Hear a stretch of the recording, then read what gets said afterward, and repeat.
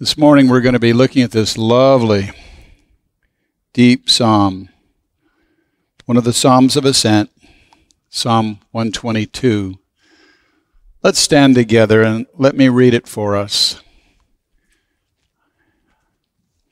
Psalm 122. And this is a psalm of our friend, King David. I was glad when they said to me, Let us go to the house of the Lord. Our feet are standing within your gates, O Jerusalem. Jerusalem, that is built as a city that is compact together, to which the tribes go up, even the tribes of the Lord, an ordinance for Israel, to give thanks to the name of the Lord.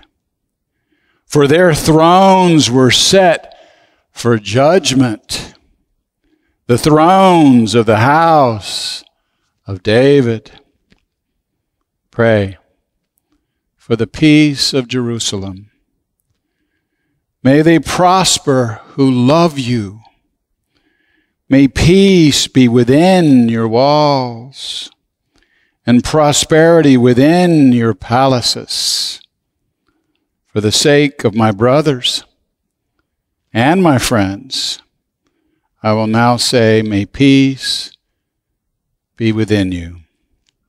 For the sake of the house of the Lord our God, I will seek your good. You may be seated within God's Word. This morning, I'd like to give us 10 aspects and places, motivations of peace.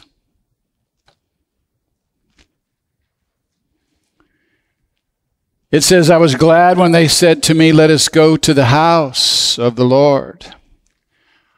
Our feet are standing within your gates, O Jerusalem. Within the spiritual city of God is peace, and only within the spiritual city of God. I've been to Jerusalem numbers of times. My grandfather actually lived there for 27 years, and my grandmother. My grandmother was almost killed by a bomb blast that went off six yards from her bed as they bombed this central place.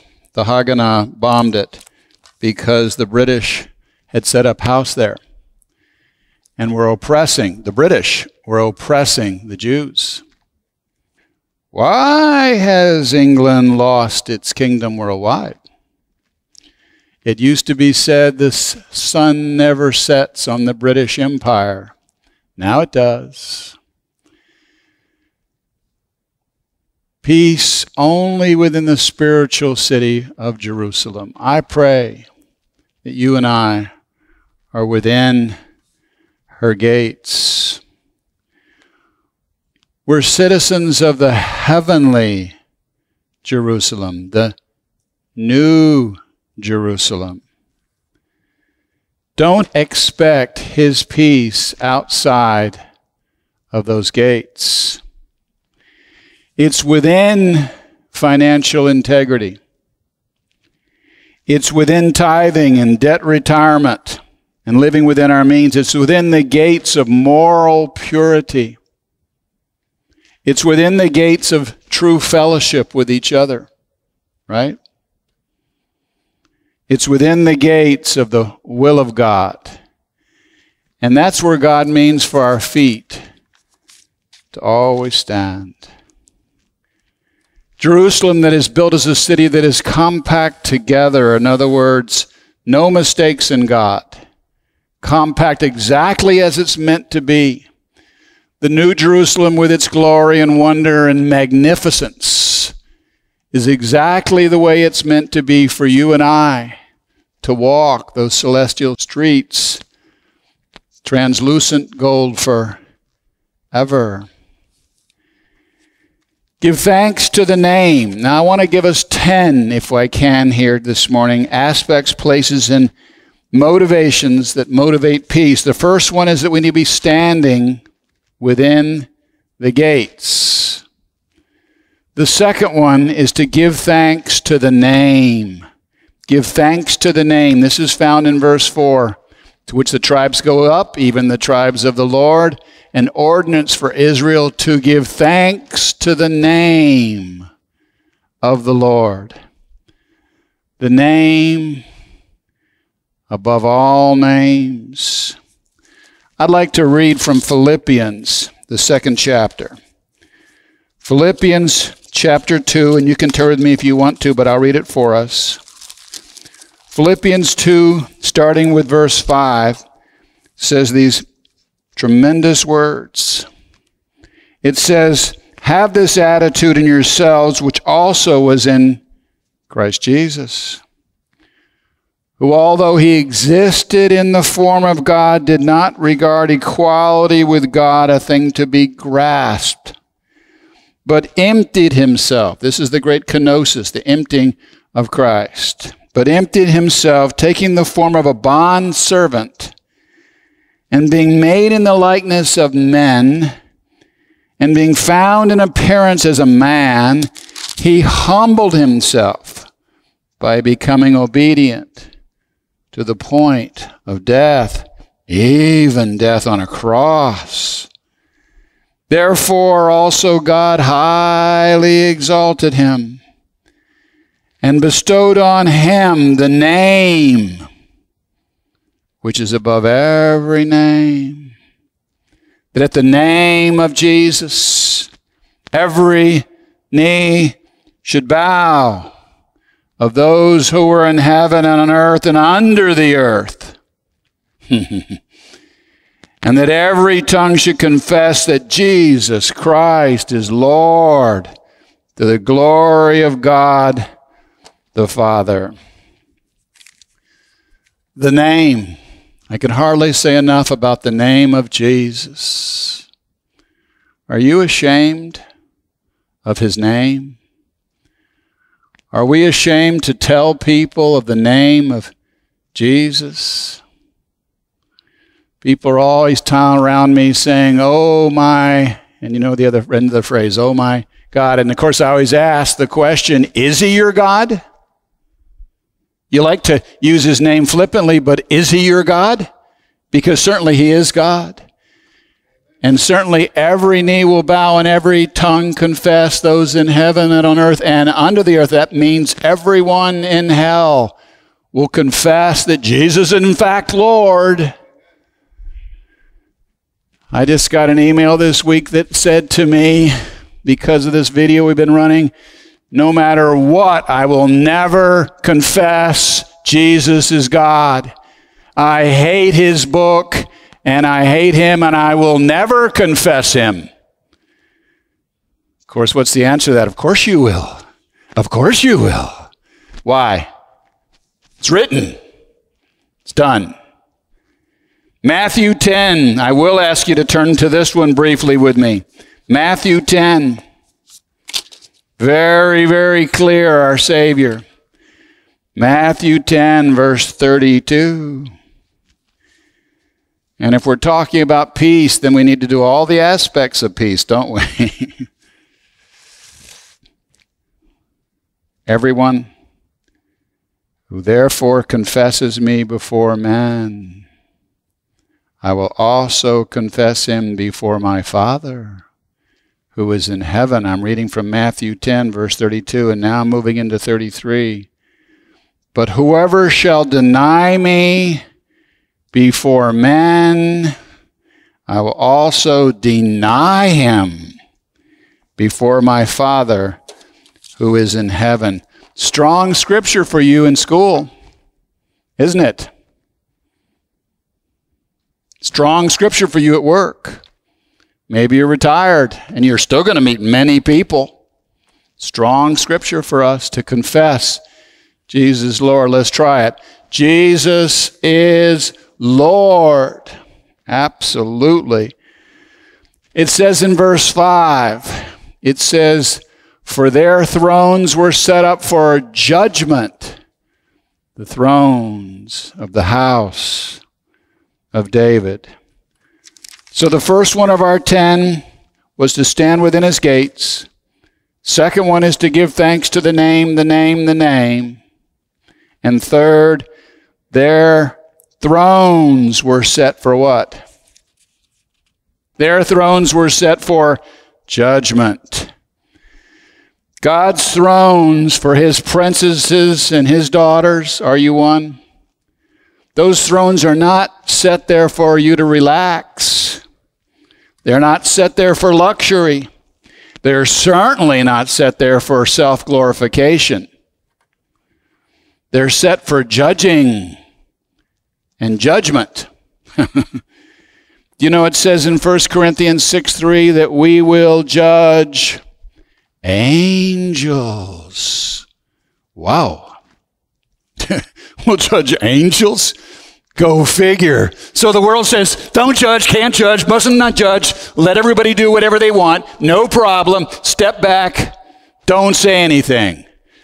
This is the great muzzle, eh, muzzle of the church.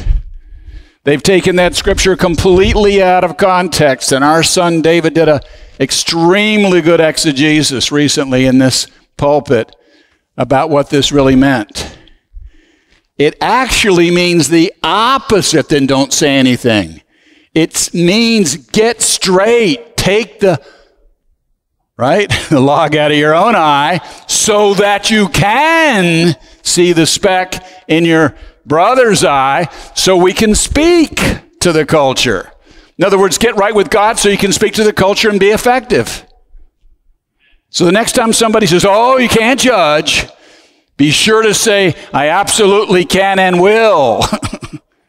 Try it with me. I absolutely can and will. See what they do. what? Never heard of such a thing. Oh. If you will allow the Spirit to touch you, all those that are hearing this voice, you can become effective for the kingdom of God. If you really allow the word to change you, would you? Allow the word to change you. Allow it to affect you. Allow the word to remold you into the image of who? Christ Jesus, certainly. And the word will do this. We will judge angels and we'll be able to take the speck out of people's eyes and say something to this culture. This culture absolutely must be spoken to. Verse 6, and this is where the fourth one is found. It says, Pray for the peace of Jerusalem. May they prosper who love you. Let me ask an obvious question. Why are you praying for the peace of Jerusalem? Right? Because you want to sell more merchandise there? I've been up and down the streets, my wife and I have Jerusalem. They sell merchandise. Is that why you're praying for the peace of Jerusalem? Are you praying so that the Arabs and the Israelis can get along? Is, is that your bottom line? is it so you can visit the holy sites? Is that why we're praying for the peace of Jerusalem? Can I help us? We're praying for the peace of Jerusalem because the king returns there. This is where the king will come the ruler of all nations. It's going to be the greatest entrance of a conquering king in the history of the world. When Christ rides into Jerusalem on that stallion from heaven with you by his side, what a day that will be. What a day. So, number four, we pray for the peace of Jerusalem because the king returns there. Clear enough? You got this one, right? Okay. All right, good. The fifth one is found in this same verse. It says, May they prosper who love you. Prosper who love you. Now, does this prosper mean cash? does it mean money? Is it funds? Or is it the prosperity of God related to your children and carrying the peace of the Lord and eternal security. Look, no one can take your salvation away, and that includes you. now, God might take you home if you get into deep sin and away from Him. He might take you right out of here, but you're not going to lose your salvation. Our salvation is eternal. Always, always, always, we will prosper in heaven with our salvation. This prosperity includes our work and our family and our future. Boy, is that an important word. Our future. Prosper who love you. The sixth one is found in verse 7. I'll read it for us. May peace be within your walls and prosperity within your palaces. Long for theocracy. Say it with me. Long for theocracy. What is theocracy? It's absolute rulership of Theo, of God the absolute rulership of God. And this is not talking about the love God that this world worships. This is God supreme theocracy. God, absolute ruler. You say, I don't know if I like that. Well, doesn't really matter. Whether we like it or not, this is the way it's going to be. Look at Revelation, the second chapter, verse 27. Revelation 2 27. this is, of course, quoting from Isaiah. It's also quoting from Jeremiah, but Revelation 2:27 says these words, "And he shall rule them with a rod of iron. As the vessels of the potter are broken to pieces, as I also have received authority from my Father." When the Lord Jesus Christ comes to rule, he'll rule with an iron scepter. Now, let me give you a little phrase, and you already know this one, but I'll still say it. Peace is not the absence of war, it's the presence of the Prince of Peace. Peace is not the absence of war, it's the presence of the Prince of Peace. The seventh one is also found within this seventh verse. Prosperity within your palaces. Boy, this is a wonderful phrase. Prosperity within your palaces. Palaces? Plural? So it isn't just the palace of the king. It isn't just the Lord Jesus Christ palace. It's all the palaces of the daughters and sons of God. John 14. Want to look there with me? John 14, first three verses. Let's stand. John 14. Oh, do I love this. Let not your heart be troubled. I'm reading from verse 1, 2, 3. Believe in God. Believe also in me. In my Father's house are many dwelling places. If it were not so, I would have told you. For I go to prepare a place for you, and if I go and prepare a place for you, I will come again and receive you to myself, that where I am, there you may be also. You may be seated. Mm. Prosperity within your palaces. The palaces of God is number seven. Number eight. This is found in the eighth verse. For the sake of my brothers and my friends, I will now say, May peace be within you. For the sake of my brothers That's number eight. Again, we're talking about all the different places of peace. The peace of our believing brothers is critical, it's essential, and absolutely necessary. It's the reason we tend to our own spiritual house first. You say that's awfully selfish? No, it's awfully biblical that we care for the brethren. So if your sister's hurting, I'm not talking about the one four blocks down, some neighbor. I'm talking about your sister, spiritual sister. If she's hurting, it's important to you. It's critical that we that are part of the household of God care for our brothers and sisters.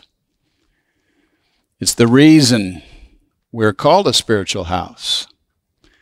Ninth one is this one, also found in the same verse, my friends.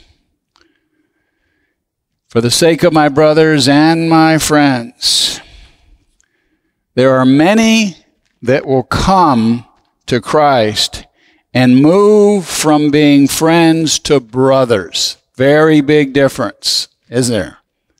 Very big difference between being a friend or being a brother or sister. This is why when you're hurting, we bring the whole church around you, right? Absolutely. But not just now, for the next age. Now, this might sound controversial. the age of wrath will draw many, many to Christ, and we are very close to the age of wrath. I've heard it said, well, many will come to the Lord during the tribulation. That actually isn't accurate. During the tribulation will be the greatest revival in the history of the world. Just read the book. I've heard it said it'll be almost like the Old Testament prophets. Well, times a thousand. the age to come when God pours his wrath, which is soon on the earth, it will cause many multitudes to come to the Lord. And his witnesses will have the power like no prophets ever in history. What we are doing, here's the controversial statement. Ready? What we are doing right now is setting the stage for the next dispensation. In other words, we're casting seeds now, and they will come to fruition in God's time, which I believe is close. You say, My life doesn't count for much. Oh, really? It counts greatly for the kingdom of God because of the place where we find ourselves, right at the edge of the change of the ages between the age of the church, the church age of grace, and the next age, the age of wrath, the tribulation. We're sowing seeds. That includes even you. Seeds that will come back soon in people's lives. tenth and last one is found in the ninth verse. For the sake of the house of the Lord our God, I will seek your good. The ultimate motivation for peace is not us. Shucks, right? I thought it was all about me. The ultimate motivation for peace is about the house of God. So well we do to sing peace, peace, wonderful peace. I agree. As long as we remember that the peace that God gives us, the joy that fills our heart, the rest of our souls, is for the good of the house of God. Amen. Amen. Before I close, let me diverge.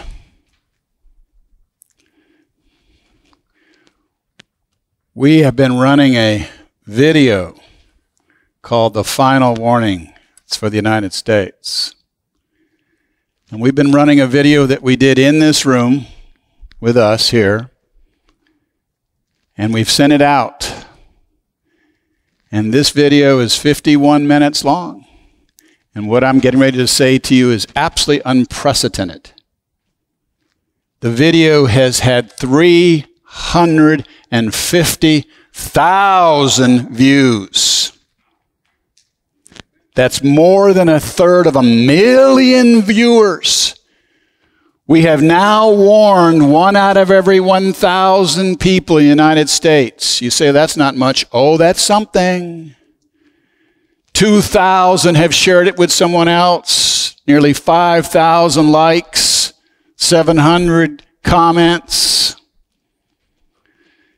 David Freed, our son, and I did this message. It's having a gigantic impact already on the culture. I know I've done this before, I'll do it again. Let me read you a couple of comments that have come out. The end times is here. I mean, I cannot tell you the number of comments we're getting that feels like no one has heard a message like this. They've heard messages, they've heard correction, but no one has heard a message like this. We're getting hundreds of thousands.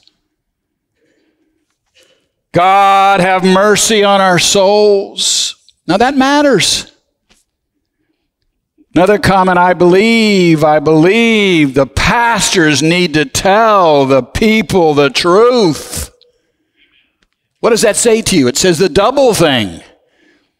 That they're wanting the pastors to do it, but it's also saying they're not doing it. 350,000 pastors in the United States not doing it. Why? Numbers, money, whatever. Next comment. One day every knee shall bow, every tongue confess Jesus is Lord. This is evoking things from these people. Next comment. This is what I absolutely believe. Prepare your hearts. In other words, people are saying, before you listen to this video, prepare your hearts. Next comment, pray for our country. Next comment, I believe it. I believe most people have turned their backs on God. Next comment, we deserve every judgment God bestows on this country for what we've allowed to go on. Wow. this is waking some people up. Oh, here's the next comment. People better wake up. next comment, last days. That's all they said. Last days. Can you imagine this? I mean, this video is elicited and evoked a number of things. Anyway, this is the next comment. This should be in all Christian churches to really open our eyes to the truth of America. Now, Thursday, this Thursday, we've taken this 51 minute video, which has had 350,000, actually more than that now, 350,000 views. We've taken this 51 minute video and have boiled it down to 4 minutes and 57 seconds.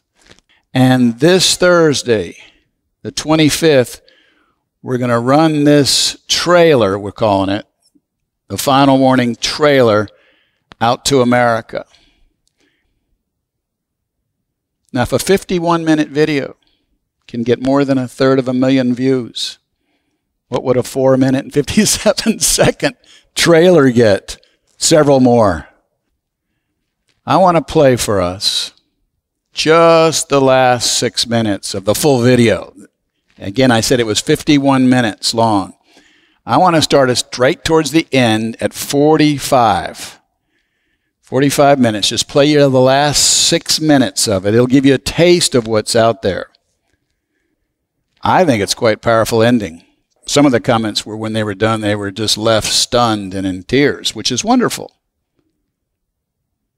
Last six minutes.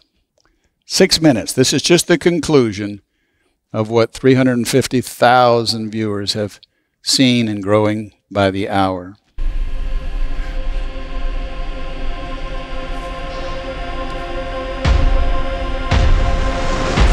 The pathway of sin, godlessness, greed, lust, and self has finally caught up with the people of pride. The generation of evil. Romans 6:23 says the wages of sin is death. Proverbs 4:19 says the way of the wicked is like darkness. They do not know over what they will stumble. In other words, men will not even understand that they're caught in the quicksand of the wrath of God. Then we realize why they're having all this trouble. They sink, they stumble, they fall. Now, I believe the United States is vulnerable. We're hated. You know this, right? They hate us. And we're cocky. And we're fat. She's prime for disaster. Europe despises us. They do. Europe despises us. And I've lived in Europe. Islam violently hates us. Doesn't just kind of dislike us, violently hates us. Internal tensions are ready to explode I would call to your attention. I'm not prophesying that one or the other of these is going to happen. I'm just saying I call this to your attention. North Korea, I just call it to your attention. Whether it's a nuclear bomb or maybe they fire 60 and only one or two get through.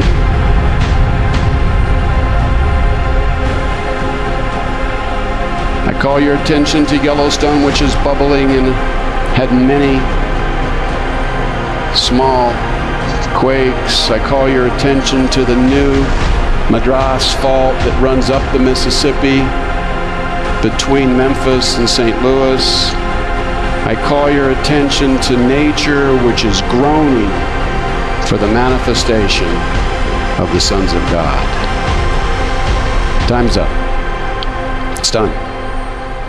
It's over. This is the final warning.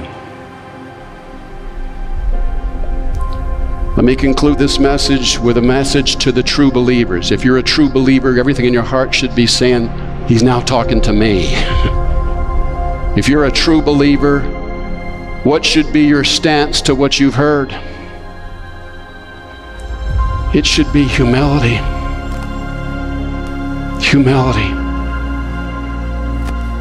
Gentleness and brokenheartedness and a softness of heart. It should be humbleness. We're dust. Just dust. Just dust. Humbleness. He's all in all. It should be a response a prayer. There's always a call to pray. There's always a call to prayer. Your response should be vigilance as the watchman on the wall, calling all to warning. Our response should be carrying the fruit, singular, fruit of the Holy Spirit. I'll list them love, joy, peace, patience, kindness goodness, faithfulness, gentleness, self control. We should be living the Beatitudes. We've been studying week after week, haven't we, from Matthew 5. We should be living them, the Beatitudes. Blessed are, and it lists 10 of them. And we should finally, and I'll close with this last scripture, and I'll come down with you to read it close to you. Stand with me.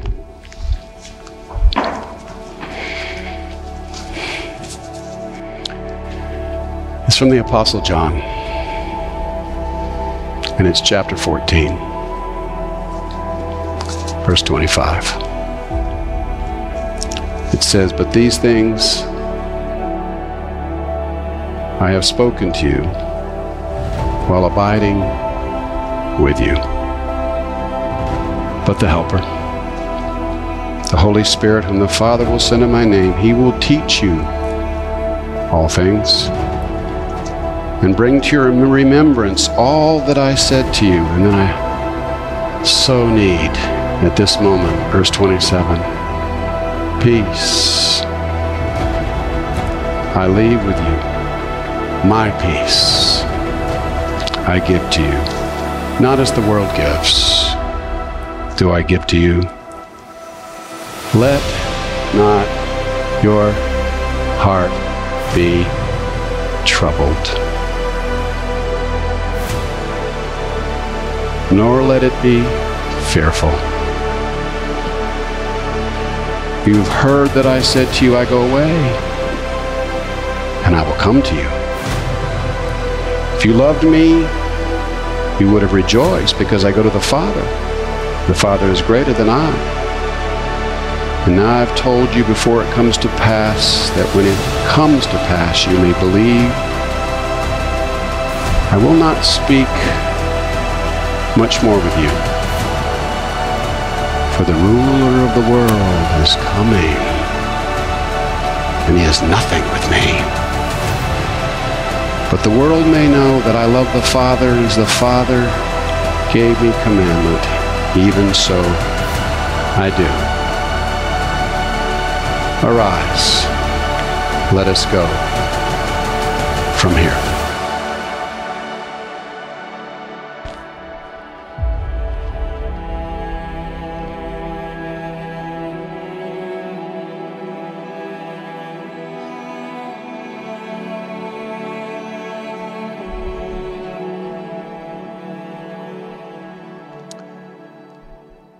Lord Jesus, you're our peace. You're the Prince of Peace. We thank you for your word this morning. We thank you we could worship.